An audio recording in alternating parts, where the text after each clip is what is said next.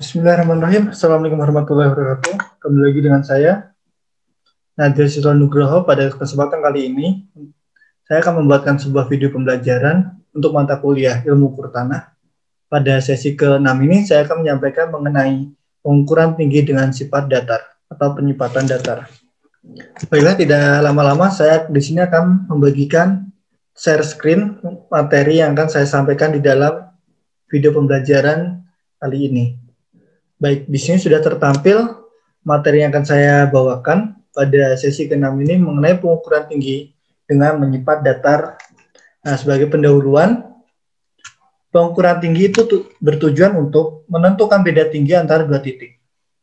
Bila suatu kasus berada pada titik A, sedangkan titik A itu adalah e, disimbolkan dengan HA, dan di titik B yang akan diletakkan lebih tinggi di dan dinotasikan dengan simbol HB, maka HB itu sama dengan H plus H. H kecil ini merupakan beda tinggi antara titik A dengan titik B yang ada pada kasus yang saya sebutkan sebelumnya. Beda tinggi antara dua titik dapat ditentukan dengan cara berikut. Yang pertama, cara barometris. Kedua, ada trigonometris. Dan yang ketiga itu dengan sifat datar. Jika dilihat dari sisi hasil ketelitian, cara barometris merupakan cara terkasar untuk menentukan beda tinggi antara dua titik. Pada saat pengukuran, sifat datar merupakan hasil yang dengan hasil yang terbaik dalam segi ketelitian dari pengukuran beda tinggi ini. Cara barometris sendiri ini menggunakan alat yang dinamakan barometer sebagai alat utamanya pada biasanya, alat barometer ini digunakan pada pengukuran tekanan udara atau uh, kuat tekan udara yang bebas yang ada di alam ini. Yang selanjutnya itu ada cara trigonometris, di mana ini digunakan untuk mengukur sudut-sudut tegak. Alat yang digunakannya ialah alat pengukur sudut atau yang sering disebut dengan teodolit. Dan cara yang ketiga itu cara pengukuran dengan sifat datar. Ini merupakan eh, sangat memperhatikan beda tinggi antara dua titik yang merupakan jarak antara kedua nivo yang melewati titik-titik itu nantinya. Selanjutnya beda bidang nivo itu akan dianggap mendatar untuk jarak-jarak yang kecil antara titik-titik tersebut. Itu hanya sebatas pendahuluan. Nah, di sini saya akan masuk ke materi inti yang pertamanya.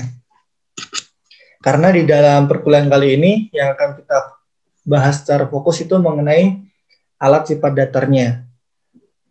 Alat sifat datar sendiri itu jika di dunia keteknikan itu disebut dengan water pass. Alat ukur sifat datar atau water pass tadi eh, terdiri dari dua tabung dari gelas yang terdi yang akan dihubungkan dengan pipa logam semuanya dipasang di atas statif atau kaki tiga, tabung gelas dan pipa penghubung akan diisi dengan zat cair berwarna.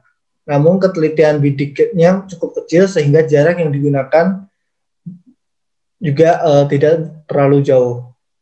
Lalu pipa logam ini diganti dengan pipa selang dan kedua tabung gelas diberikan skala dengan satuan milimeter dan sering digunakan juga pada pembangunan jalan-jalan, jembatan, kanalisasi, dan gedung-gedung sederhana lainnya. Di sini eh, saya masih menggunakan buku ilmu ukur tanah sebagai referensi saya karya Sutomo Wongso Citro yang ditulis pada tahun 1980. Jadi eh, alat yang digunakannya masih sangat-sangat sederhana. Waterpass yang disebutkan di dalam sedikit penjelasan di atas tadi itu merupakan waterpass yang sangat manual yang digunakan pada tahun 80-an. Dengan cara kerjanya, yang pertama kita isi pipa karet tersebut dengan air secara berdekatan agar dapat melihat perbedaan permukaan air di dalam pipa karet tersebut. Lalu pipa karet tadi dibawa ke lokasi pengukuran dan kita tunggu hingga permukaannya airnya tidak bergerak dan baca perubahan tinggi permukaan air dalam beberapa kali. Setelah pembacaan selesai, tariklah rata-rata tertinggi dari permukaan air tadi sebagai hasil beda tinggi antara kedua titik yang kita ukur tadi. Bila pengukuran dilakukan dengan teliti, maka nilai error atas ketelitian tadi sekitar 1 sampai dengan 2 mm saja. Nah, selanjutnya untuk syarat-syarat sifat alat sifat datar ini sendiri. Syarat yang harus terpenuhi oleh semua alat sifat datar ialah garis bidik di dalam teropong harus sejajar dengan arah nivonya atau uh, apa namanya garis ukurnya, meteran ukurnya itu dinamakan nivo. Cara tambahannya ialah garis arah nivo harus tegak lurus dengan sumbu ke satu alat ukur sifat datar. Jadi uh, harus arah tegak lurus, tidak boleh miring ataupun lainnya. Makanya nanti akan juga dibahas bahwa di bawah nivo ini harus diberikan sebuah papan agar si alat nivo ini dapat tegak lurus secara maksimal. Syarat beri tambahan lainnya itu benang datar diafragma harus tegak lurus juga pada sumbu ke satu. Sehingga waktu kita pembidikan itu akan menghasilkan data dengan keakuratan yang tinggi.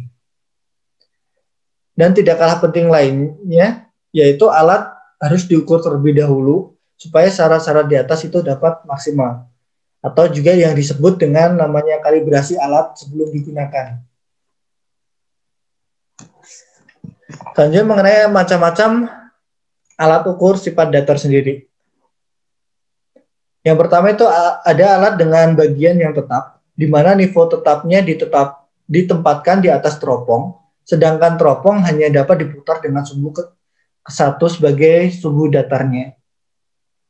Alat yang kedua itu dengan nivo reversi yang ditempatkan pada teropong, sehingga teropong dapat diputar dengan sumbu yang letaknya searah dengan garis bidik. Sumbu putarnya dinamakan dengan sumbu mekanis teropong, dan teropong dapat diangkat dari bagian utama alat tersebut. Yang ketiga itu ada alat dengan teropong yang bersumbu mekanis. Tetapi nivo tidak diletakkan pada teropong, melainkan di bawah, lepas dari teropong tersebut sehingga teropong dapat diangkat dari bagian utama alat tersebut. Yang keempat itu alat teropong yang dapat diangkat dari bagian bawah alat dan dapat diletakkan di bawah dengan landasan persegi pada dan nivonya juga dapat ditempatkan pada teropong. Nah, untuk materi selanjutnya itu mengenai pengaturan alat sifat datar, di mana itu nantinya ada empat macam pengaturan alat sifat datar di dalam buku Ilmu Kertanah karya Wang Sutomo Wongso Citron ini sudah disampaikan. Nah, nanti bisa teman-teman baca sendiri mengenai pengaturan alat sifat datar sehingga nanti jika kita jadi melakukan kegiatan praktikum, teman-teman sudah memahaminya cara mengatur alat sifat datar ini sendiri bagaimana. Selanjutnya itu mengenai mister dan perlengkapannya mister yang digunakan pada materi yang saya referensi dari buku tahun 1980 ini itu masih terbuat dari kayu yang panjangnya 3 sampai 4 meter. Bahkan ada beberapa yang ukurannya sampai dengan 5 meter. Karena panjangnya ini, maka mister dapat dilipat per satu setengah meter atau 2 meter sekali. Skala yang diterapkan pada mister ini ialah sentimeter dengan warna blok merah, putih, ataupun hitam. Setiap meternya akan dibedakan warnanya secara bergantian agar memudahkan dalam pembacaan per meternya nantinya. Pada bawah mistar nantinya akan ada landasan yang digunakan untuk membuat mistarnya tetap berdiri tegak. Karena syarat mistar tidak boleh bergerak dan harus tegak, tegak lurus dengan bidang datar pada waktu digunakannya tentunya. Jika pengukuran untuk jalan, jangan pernah meletakkan mistar ini pada aspal secara langsung. Kenapa alasannya? Jika memang kalian penasaran, silahkan cari di dalam beberapa jurnal. Itu telah memasukkan alasannya kenapa mistar ini tidak boleh diletakkan secara langsung di atas aspal. Walaupun kita mengesampingkan bahwa banyak teknisi yang melakukan pengukuran pada jalan meletakkan mistarnya itu secara langsung. Topik selanjutnya itu mengenai penetapan beda tinggi antara dua titik. Pada pembahasan ini dapat dilakukan dengan tiga cara. sebagai berikut. Yang pertama itu menempatkan alat di atas satu titik. Alat yang ditempatkan di antara kedua titik ukur dengan jarak yang kemungkinan sama. Yang ketiga itu alat ditempatkan di antara kedua titik yang diukur sebelumnya. Jika mau lebih lengkap lagi mengenai cara penetapan beda tinggi ini nanti juga bisa teman-teman baca di dalam buku yang saya gunakan referensinya tadi. Dan perlu diingat juga untuk mendapatkan beda tinggi antara kedua titik tadi itu selalu diambil pembaca mistar e, belakang dikurangi dengan pembacaan mistar buka.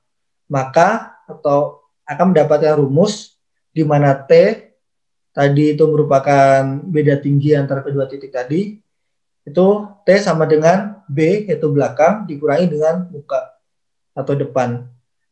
Ini terjadi bila mana B min M akan menghasilkan lebih dari 0.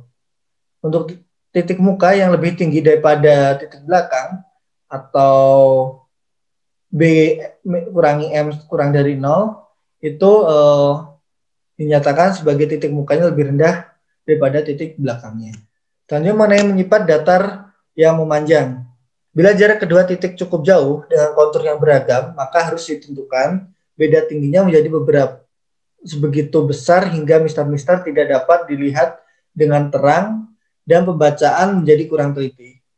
Garis bidik tidak memotong mistar, maka jarak tersebut harus dibagi menjadi beberapa jarak yang lebih kecil. Sehingga pengukuran dapat dilakukan dengan mudah dan baik. Normalnya, jarak yang diambil itu sekitar 30 sampai 60 meter. Ada beberapa cara untuk e, mencatat pembacaan dan menghitung pengukuran. Cara yang pertama itu bila hanya yang dicari beda tinggi antara kedua titik ujungnya saja. Yang kedua itu bila perlu mengetahui beda titik antara kedua ujung. Cara yang ketiga itu ada bila uh, B min M tadi ukuran mistar yang belakang dikurangi ukuran mistar yang di depan itu tidak uh, sama dengan dengan inverse atau negatif kali angka muka dikurangi angka belakang tadi dan didapatkan beda tinggi yang hasilnya negatif. Pengukuran yang memiliki ketelitian besar akan dilakukan pengukuran ulang pergi dan jika hasilnya kecil maka dapat diambil rata-rata secara langsung. Cara yang terakhir itu pengukuran yang diperlukan dan yang ditulis tidak diukur dengan lantai ukur, tapi dengan alat ukur jarak optis di dalam teropong yang te ditempatkan pada diafragma alat tersebut. Pada pembahasan ini juga saya masih baru menampilkan beberapa poin utamanya ataupun e, menjadi subjudul dari setiap poinnya yang nanti harapan saya kalian bisa membaca langsung di dalam buku ilmu pertanah Sutomo Wongso Fitro ini sehingga nanti saat eh, teman-teman bisa melakukan praktikum itu akan secara langsung mengetahui teknisnya. Selanjutnya itu yang mengenai pengukuran tinggi dengan tinggi garis bidik. Tahapan ini bertujuan untuk mencari beda tinggi antara kedua titik hingga dapat dicari dan diketahui. Dan selanjutnya juga bisa kalian baca di dalam buku, terutama mengenai ilustrasi-ilustrasi yang terjadi di dalamnya. Cukup banyak ilustrasi yang terjadi di dalam pengukuran tinggi dengan tinggi garis bidik ini untuk mengenai profil memanjang dan profil melintang itu diperlukan untuk uh, membuat sebuah trase biasanya jalan kereta api atau rel, jalan raya, saluran air, pipa air minum dan riol dengan jarak dan beda tinggi antara titik-titik di atas permukaan bumi didapatlah sebuah irisan lapangan yang dinamakan dengan profil memanjang. Dan pancang-pancang yang digunakan pada pengukuran penyipat datar ini yang memanjang dapat membuat sebuah profil memanjang sehingga menghasilkan penggambaran profil memanjangnya. Sebagai contoh, silakan lihat di dalam buku karya Sutomo Sutitro yang dari tadi saya sebutkan. Selanjutnya mengenai pengukuran menyipat datar luas. Ada kalanya untuk mengetahui ketinggian atau tinggi rendahnya dari suatu daerah guna melakukan pekerjaan ini. Misalnya letak dari bangunan-bangunan. Untuk mendapatkan bayangan yang terang, tentang keadaan tinggi rendahnya daerah, diperlukanlah garis tinggi yang menggabungkan titik-titik yang tingginya sama untuk mendapatkan gambar yang dengan ketelitian tinggi. Maka perlu mengetahui garis tinggi sebanyak mungkin supaya pekerjaan menjadi mudah, cepat, maka pilihlah tempat dengan uh, tepat saat mengukur dengan alat sifat datar ini agar mudah dalam membidiknya dan bisa banyak arah kita gunakan alat pembidiknya ini. Sehingga uh, tinggi garis bidik yang kita tentukan itu sudah kita ketahui terlebih dahulu. Nah, selanjutnya mengenai kesalahan, kesalahan pengukuran. Sumber kesalahan biasanya itu dari tiga jenis. Yang pertama itu kesalahan dari alat yang kita gunakan. Biasanya tergantung dari kalibrasi alatnya itu sendiri. Asalkan kita sebelum memakainya kita atur terlebih dahulu, maka kalibrasi alat ini akan sangatlah minim sehingga tingkat akuratnya itu cukup tinggi. Kesalahan kedua itu karena kesalahan keadaan alam. Biasanya itu adanya lengkung permukaan bumi, lengkung sinar cahaya, atau refraksi, getaran udara, masuknya statif dan mistar, dan perubahan garis nivo. Untuk kesalahan yang ketiga itu biasanya kesalahan dari pengukur atau usernya. Biasanya ini karena ada kesalahan mata yang cukup lelah dan kesalahan dalam pembacaan ukuran yang ada di mistar sehingga hasil yang didapatkan itu cukuplah kasar. Perbaikan alat yang digunakan saat setelah digunakan itu dan penilaian pengukuran sifat nanti juga dapat teman-teman baca secara langsung di dalam buku agar pemahaman kalian menjadi cukup maksimal. Untuk melengkapi sesi ke-6 ini, beberapa materi yang saya skip tadi dengan yang saya arahkan untuk teman-teman membaca secara langsung di dalam buku itu silahkan teman-teman cari. Yang pertama itu mengenai empat macam pengaturan alat sifat datar. Gunakan buku ilmu kurtanah karya Sutomo Citra sebagai sumber utamanya, atau juga bisa mencari dari jurnal. Dan jangan lupa kalau untuk dari jurnal itu menuliskan sebuah daftar pustakanya atau referensinya. Yang kedua itu carilah mengenai perbaikan alat sifat tadi. Juga sumbernya sama dari buku Sutomo Citra dan yang ketiga itu parameter apa saja yang digunakan dalam pengukuran sifat datar. Dan semua juga ada di dalam buku ilmu pertanah karya Sutomong Citro ini. Sajikan tugas ini di dalam format file PDF, lalu upload di link. Tugas ini akan uh, saya gunakan sebagai syarat penerbitan nilai UTS yang ada di siakat nantinya juga. Sampai jumpa di live session sesi ketujuh untuk membahas mengenai review perkuliahan dan persiapan UTS nantinya. Terima kasih dari saya. Saya Nadia Susul Nurul mohon undur diri. Bila ada kesalahan tutur kata yang saya sampaikan, mohon dimaafkan. Sebagai taufiq walhidayah. Wassalamualaikum warahmatullahi wabarakatuh. See you next time.